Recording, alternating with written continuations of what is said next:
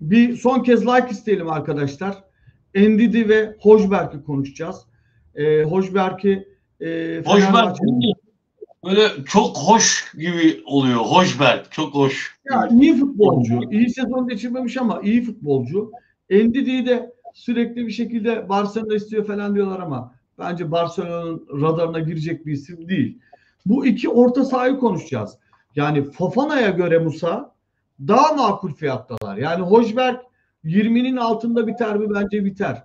Endidi'nin zaten bonservisi yok. Yani 5 lira yıllık ücret, şey imza parası 3,5 lira falan yıllık ücreti 8 liraya falan e, Endidi'yi bitirebilirsin yani. E, ama yani aradığımız profil bu isimler mi? E, açıkçası özellikle Hojberg e, bizim tam aradığımız orta saha olur. Sporun dibi özel haber olarak paylaşmış.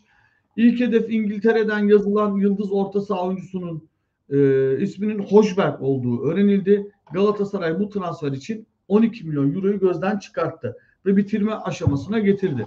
Şimdi 12'yi 12-13'e Fenerbahçe'de teklif yaptı Musa. Bildiğim kadarıyla bitiremedi.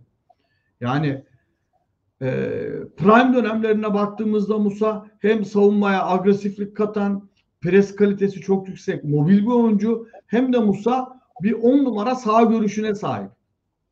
Yani hücum setinde yana geri yana geri oynayan birisi değil, dripling yapan ve kilit pas, asist yapabilen bir futbolcu. Bu sezonu çok iyi geçirmedi. Onu söyleyelim. Ön libero esas pozisyonu 6 ama 8'de de oynayabiliyor. Ki Musa bak Amrabat'ı da alırsak e, örnek veriyorum. E, Amrabat'ta da bu düşüncesi vardı. Hoca Amrabat'ı 6'ya koy, Torreira'yı 8'e koymayı planlıyordu. E, 6-8 numara pozisyonda oynuyor. 28 yaşında Musa. Bu sezon 39 maça çıkmış. Gol ve asisti yok. Çok iyi bir sezon geçirmedi. Ama net söylüyorum Galatasaray'a Galatasaray bu transferi bitirebilirse bu oyuncuyu e, kadroya çekebilirse Galatasaray için büyük iş olur. Bence de yani oyuncu zaten bildiğimiz bir oyuncu. Ee, Oyun Regista, alanında da derin oyun kurucu demiş burada. Regista. Evet Musa. yani eee, işte diyorum ya çok önemli bir oyuncu. Özellikle kilit ve ara paslarıyla çok böyle bilinen bir oyuncu. Ama işte geçen seneki performansını sen biraz önce söyledin.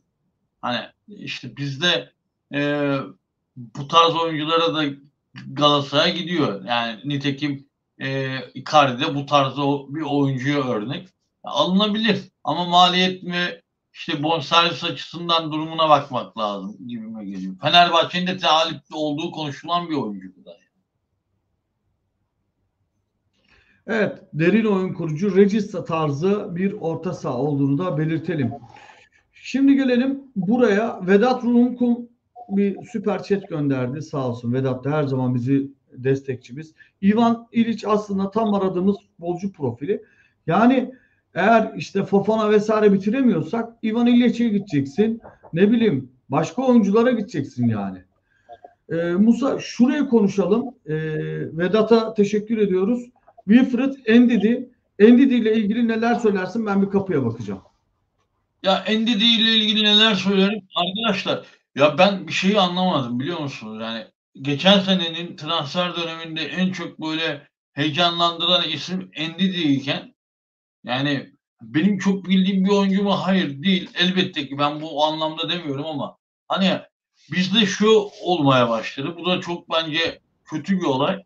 E, geçen sene mesela geçen sene böyle bayıla bayıla isteyeceğimiz oyuncuları bu sene bu- burun kıvırıyoruz. Yani böyle bir lüksümüz var mı? Geçen sene. Amrabat gelse herkes tamam mı? Leicester'ı? Leicester'ın en iyi oyuncularından biri Endidi, Wilfred Endidi. Endidi tabii abi onu çok diyorum böyle sert, sert bir oyuncu değil. Daha böyle yaratıcı, kreatif bir oyuncu. Cem Çiftlik beyefendi de burada. Kadrajda girdi mi bakayım şöyle. Ama. Girmedim ben de. Bak girdim. Vücudunun yarısı mu? Ya, Okey. Gel gel come on bir el salla Galatasaraylılara. İngiltere'deki Galatasaraylı Merhaba bütün Galatasaray'ı sevenler ve ileride sevecek olanlar. Günün birinde herkes Galatasaraylı olacak biliyorsunuz. Evet burada Herkes- beraber tatildeyiz arkadaşlar. Cem benim çocukluk arkadaşım. Ee, Cem'le çok Galatasaray maçına da Ali, İki eski de Ali Galatasaraylı. İki sen de gel. bir Gel. de Victoria da el sallasın. Çok Victoria. Galatasaray maçına gitmişliğimiz var. Evet. Ee, sevgili arkadaşlar. Victoria'da İyi eş yayınlar. durumundan Galatasaraylı oldu. İngiltere'de Chelsea'yi destekliyor. Türkiye'de Galatasaray'ı destekliyor. Şimdi Musa e, burada haber detaylaştırılmış. Güya Barcelona'nın da ilgisi olduğunu düşünüyor. Eğer Barcelona Ndidi'yi alacaksa hani Real Madrid'le falan rekabet etmeyi unutsun yani. Öyle bir şey mümkün değil. Ama bize uyabilecek bir profil. 27 yaşında bu da regista diyebileceğimiz geriden oyun kurabilen ofansif yetenekleri çok e, üst seviyede olan Torreira'yı rahatlatacak bir isim yani. Baktığımızda e, Leicester takımında ne yapmış Musa? 36 maç, 6 gol, 6 asist. Leicester'ın Şampiyonşipten Premier Lig'e yükselmesinde en iyi katkıyı veren isimlerden biri. Açık ve net bir şekilde. E, ben açıkçası isterim Ndidi'yi. Ama bunlar tabii Fofana'nın, e, Goreska'nın, ne bileyim McTominay'in bir alt profili. Onu da belirtelim yani. Abi yani işte az önce ne dedin? O, ben oraya takıldım. Orada kaldım. Hani böyle e, işte Fenerbahçe ile yarışacak. Yani bizim Fenerbahçe ile yarışmak gibi derdimiz yok abi. Biz transferde Fenerbahçe ile yarışmayalım. Transferde Fenerbahçe ile yarışırsak yani e, uçurumdan kendimizi aşağıya atalım daha iyi yani. Bizim derdimiz şampiyonlukla Fenerbahçe ile. Ki şampiyonlukta da Fenerbahçe bize yetişemiyor. Yani Endidi bu anlamda bence önemli. Ben, ben mesela Endidi'nin videolarını izledim. Yani mesela Fernando Reyes kadar katkı verir mi bilmiyorum ama hani o potansiyeli gördüm. Bir anda vites arttırıp birinci bölgeden hani birinci bölgeden ikinci bölgeye hatta üçüncü bölgeye taşımak önemli ama vites arttırarak taşımak daha önemli. Endidi bunu yapıyor bence yani. Bunu yapan oyuncu tarzında bir oyuncuya ihtiyacımız var. Ben az önce anlatmak istediğim olay şu. Geçen sene NDD'ye tavken bu sene NDD ismini burun kıvırıyoruz. Yani bu burun kıvırmayı yapmamamız gerekiyor diye düşünüyorum yani. Evet, Ndidi'ye yani e, tabii Fofana Fofana çıkartıp Goreska konuşup bir anda tekrardan Ndidi gündeme gelirse de orada hafif bir beğenmeme durumu, hafif bir Musa e, burun kıvırma durumu oluyor maalesef. Gökhan Abacı Melo gibi oyuncu lazım. İşte o şey arkadaşlar Fofana. Yani Melo dediğiniz oyuncu Fofana arkadaşlar. Abi o bak e, abi Hulusi Bey'in Hulusi Bey'in yorumu var. Hiç gol atmayan oyuncu neden alalım?